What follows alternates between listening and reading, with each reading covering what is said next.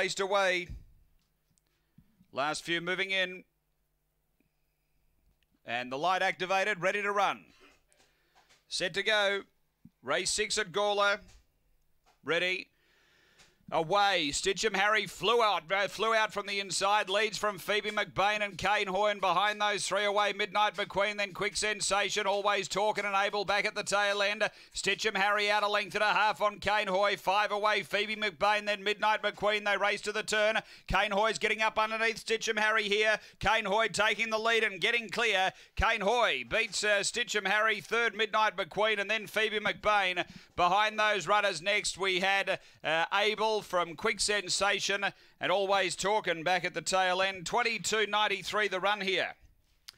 After race number six, it is uh, 617 and three. Kane Hoy for Troy Murray, a double tonight. A Brindle Dog, April 2015. Uh, Velisette Spindle. Number six first, Kane Hoy.